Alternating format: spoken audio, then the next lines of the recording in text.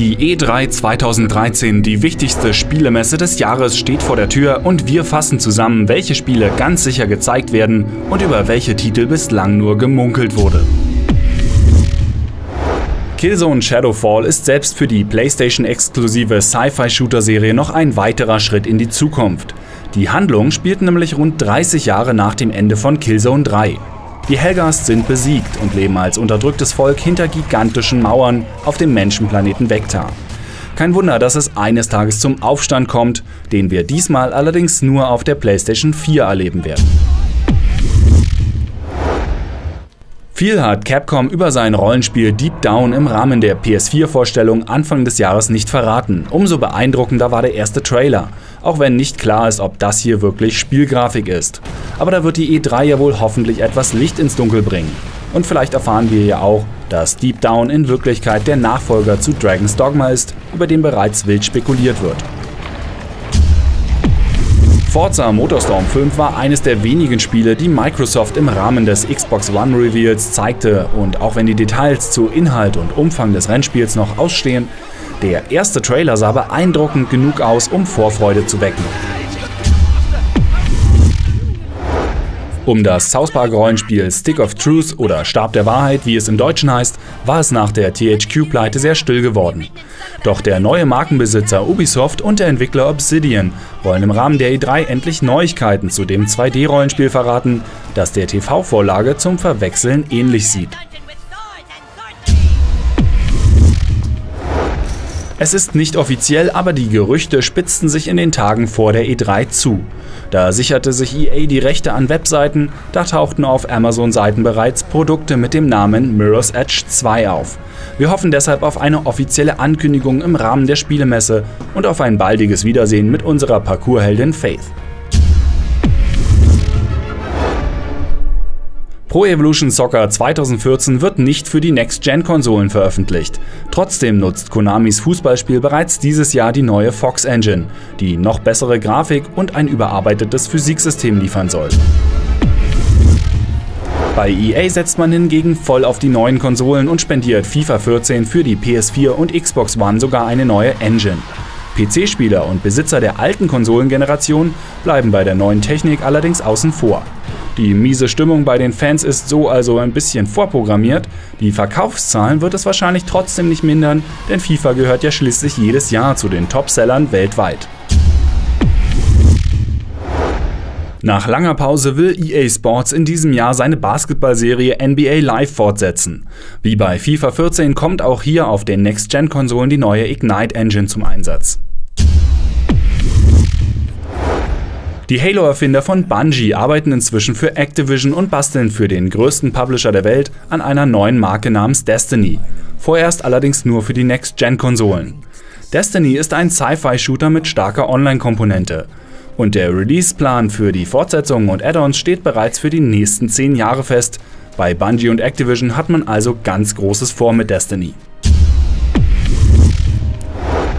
Castlevania Lords of Shadow 2 setzt da an, wo der Vorgänger aufhörte, mehr wollen wir hier aber gar nicht verraten, denn sonst ist das Ende von Teil 1 gespoilert und den können PC-Spieler ja erst im August 2013 spielen, denn dann ist das erste Lords of Shadow endlich nicht mehr konsolenexklusiv. Eine passende Einstimmung auf die Fortsetzung des Action-Adventures. Square Enix startet die Thief-Reihe neu deren ersten beiden Teile bei uns unter dem Titel Dark Project liefen. Das neue Spiel heißt jetzt einfach nur noch Thief, schickt aber erneut Meisterdieb Garrett über die Dächer einer namenlosen Stadt. Auf der E3 gibt es nach ein paar ersten Screenshots hoffentlich endlich auch die ersten Gameplay-Videos zu sehen. Auch bei Dying Light vom polnischen Entwickler Techland gab es bislang nur ein paar Screenshots für die Öffentlichkeit zu sehen. Das wird sich im Rahmen der E3 hoffentlich ändern, denn der Publisher Warner Bros. will diesen Mix aus Zombie Survival im Stil von Dead Island und Parkour Action, wie wir sie aus Mirror's Edge kennen, auf der Messe zeigen. Metal Gear Solid 5 sind genau genommen zwei Spiele. Ground Zeroes wird das Prequel, das verrät, wieso wir im eigentlichen Hauptspiel The Phantom Pain anfangs aus dem Koma erwachen. Und wie üblich bei der Serie herrscht vor dem Release von Metal Gear Solid 5 reichlich Unsicherheit über Gameplay-Elemente und Story. Aus Erfahrung können wir aber sagen, dass wir wohl mindestens überrascht sein werden. Überraschen lassen möchten wir uns auch von The Last Guardian. Und da würde uns die Anwesenheit des Spiels auf der E3-Messe erstmal völlig reichen. Bislang ist der Auftritt des neuen Spiels der Ico und Shadow of the Colossus Macher nämlich nur ein Gerücht. Eine gute Gelegenheit, um aus der Versenkung aufzutauchen, bietet die Messe aber allemal. Und wir wären nicht überrascht, wenn The Last Guardian inzwischen als PS4-Titel entwickelt wird. Resident Evil-Erfinder Shinji Mikami und sein Studio Tango Gameworks wollen uns mit ihrem nächsten Spiel The Evil Within endlich wieder das Fürchten lehren.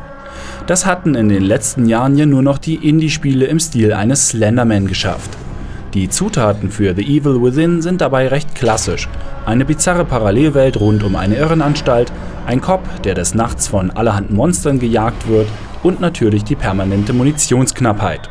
Wir sind sehr gespannt, was der Publisher Bethesda auf der E3 zeigt und ob der AAA-Horror der frühen Resi-Spiele ein Comeback feiert. Vor der E3 teaserte der Entwickler Telltale Games bereits Neuigkeiten zu seiner Adventure-Serie zum TV-Hit The Walking Dead. Ob es nun aber Season 2 wird oder vielleicht eine Mid-Season-Episode, werden wir wohl erst auf der Messe erfahren. In jedem Fall kann sich das Team über viel Aufmerksamkeit freuen, denn das fünf Episoden lange Walking Dead Adventure war 2012 der Überraschungshit des Jahres. Die Rollenspielserie Mario und Luigi geht mit Dream Team Brothers in die nächste Runde, diesmal auf dem 3DS. Um Prinzessin Peach aus den Fängen des Fledermauskönigs zu retten, reisen Mario und Luigi in eine Traumwelt. Hier erleben wir das Spiel nicht mehr aus der Draufsicht, sondern wie ein klassisches Jump-and-Run von der Seite. Gekämpft wird, wie in der Serie üblich, rundenweise. Shadowfall ist nicht das einzige Killzone-Spiel, das derzeit in der Entwicklung ist. Für die PS Vita wird noch vor dem PlayStation 4 Killzone der Ableger Mercenary erscheinen. Darin kämpfen wir erstmals sowohl auf Seiten der Menschen als auch im gut bezahlten Auftrag der Helgas. Und während Killzone Mercenary zeigen soll, welche Grafikpower in Sonys jüngster Handheld-Konsole steckt, will uns das Third-Person-Adventure Terrorway zeigen, was für herausragende Zusatzfunktionen die Vita zu bieten hat.